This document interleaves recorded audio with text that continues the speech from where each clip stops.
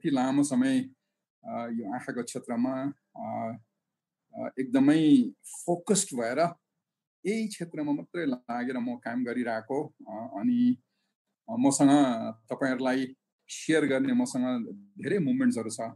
म अब मेरो इतिहासको पानालाई तिस वर्ष अगाडि पल्टाएर म हेर्न चाहन्छु।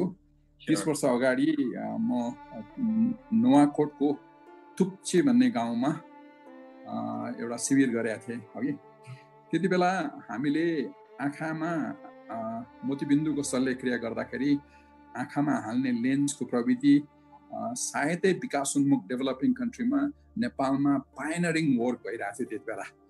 र त्यो गरिराखेको थियौँ। र त्यति बेला एउटा अठार उन्नाइस वर्षको केटो जसलाई उसको मलाई अझ पनि झलझल याद छ। उसको दिदी र भेनाले लिएर आएको थियो। भेनाले बोकेर ल्याएको थियो। अनि लिएर आउँदाखेरि तपाईँहरूले चिप्ली किलालाई रेस्टमा देख्नु भएको छ नि हो कि? यसरी टाउकोभित्र लुकाएर बस्छ है। अनि त्यो बच्चा पनि ल्याउँदाखेरि बिल्कुल टाउकोभित्र लुकाएर टाउकै नदेखाउने गरेर बस्थ्यो। अनि मैले सोधेँ पनि यो सधैँ यस्तो हो? भने यो गएको आठ वर्षदेखि नै यस्तो स्थितिमा छ।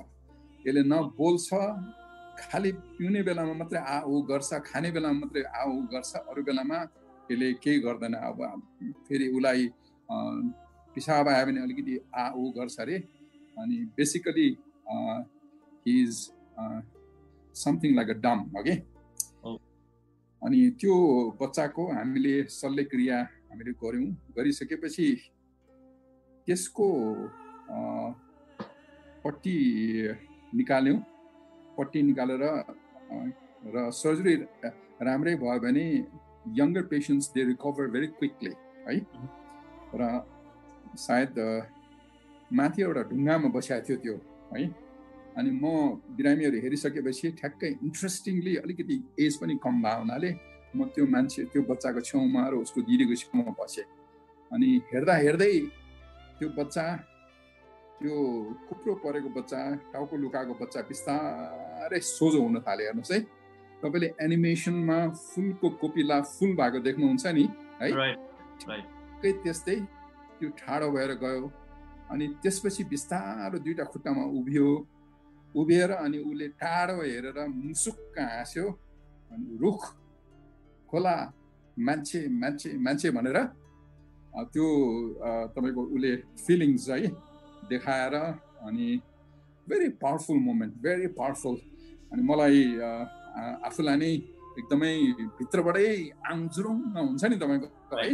त्यस्तो त्यस्तो फिलिङ भयो। सो एकदम सिम्पल डिजिजले गर्दाखेरि पनि मान्छेहरू मर्ने त्यो बेला त्यही मोटिभेसन भयो तपाईँ मेडिसिन गर्नुभयो। हजुर। मलाई रोशन मलाई के लागेको थियो भने तपाईँको म स्कुल बस्दाखेरि पनि मेरो अलिकति मेरो ब्याकग्राउन्ड र मेरो आफ्नो स्थितिले गर्दाखेरि पनि म अरू स्टुडेन्टहरू भन्दा अलिकति अनप्रिभिलेज थिएँ। स्कुलमा छुट्टीहरू हुँदाखेरि अनि प्यारेन्ट्सहरू सबै मेरो साथीहरूलाई लिएर जान्थेँ। म एकजना मात्रै फर्केर त्यहाँ बस्थेँ किनभने मेरो त अब घर जाने कुरा पनि आएन। घर जानु र आउनुलाई नै एक महिना लाग्छ। अनि त्यो भावनाले म त्यसरी बसेँ। म त्यहाँको फादरसँग साथै राम्रोसँग क्लोजली म उहाँ उहाँको र उहाँबाट मैले धेरै कुरा सिकेँ। त्यसबाट कस्तो हुँदो रहेछ भने तपाईँको अलिकति तपाईँले जे गर्दा पनि अलिक दुःख नगरिकन पाइँदैन भन्ने कुरो चाहिँ मनमा हुनु हुनु पर्दो रहेछ। र मलाई त्यति बेलादेखि नै एउटा जिन्दगीमा अगाडि बढ्नलाई तपाईँसँग प्रशस्त मात्रामा इच्छा शक्ति हुनुपर्छ विल पावर हुनुपर्छ। र मलाई फादरले के भन्नुहुन्थ्यो भने तपाईँले किताबबाट तिमीले किताबबाट जे पढ्छौ त्यसलाई दिमागमा राख्नुपर्छ अनि त्यसलाई लाइफमा इम्प्लिमेन्ट गर्ने त्यसको इम्प्याक्ट के छ त्यसलाई त्यसमा ट्रान्सलेसन गर्दाखेरि भेन्टिलेट गर्दाखेरि लाइफमा त्यसको प्र्याक्टिकल इम्प्ला इम्प्लिकेस इम्प्लिकेसन्सहरू आउनु सक्नुपर्छ भनेर भन्नुहुन्थ्यो। यी कुराहरू म अहिले तपाईँको भ्युजहरूलाई है म के भन्न चाहन्छु भने जहिले पनि तपाईँले एउटा विल पावर या इच्छा शक्ति चाहिँ तपाईँले यो बनाउनु सक्नुपर्छ जस्तो लाग्छ। Whether you are a student or you're corporate you know executive you're a doctor you're any other field मलाई विल पावर एउटा चाहिँ असाध्यै लाइफमा सक्सेसको लागि चाहिन्छ जस्तो लाग्छ मलाई अघि। अर्को चाहिँ म इभन दार्जिलिङबाट आउँदाखेरि पनि म मेडिसिन पढ्छु भन्ने मैले कहिले चिताएको थिएन। अनि काठमाडौँमा म पढ्दाखेरि म र मेरो बहिनी एकजना मसँग भेरी क्लोजली बस्ने बहिनी हुनुहुन्थ्यो। अनि बहिनीलाई ट्युबरक्लोसिस लाग्यो।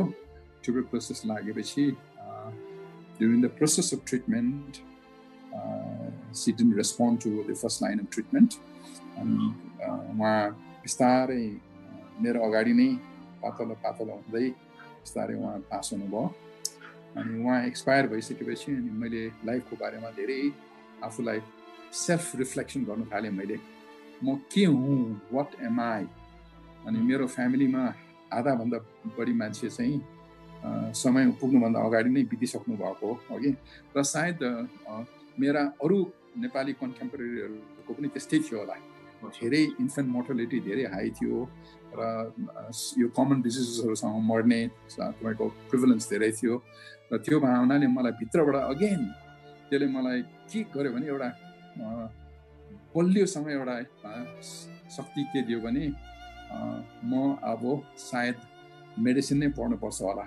मेडिसिन पढेर मैले मेरो देशवासीको यस्ता यस्ता प्रब्लम भएकोहरूलाई मैले सायद के गर्नु सक्छु कि भनेर मलाई एउटा इन्सपिरेसन मेडिसिन पढ्ने चाहिँ भेरी स्ट्रङ इन्सपिरेसन यहीँबाट आयो।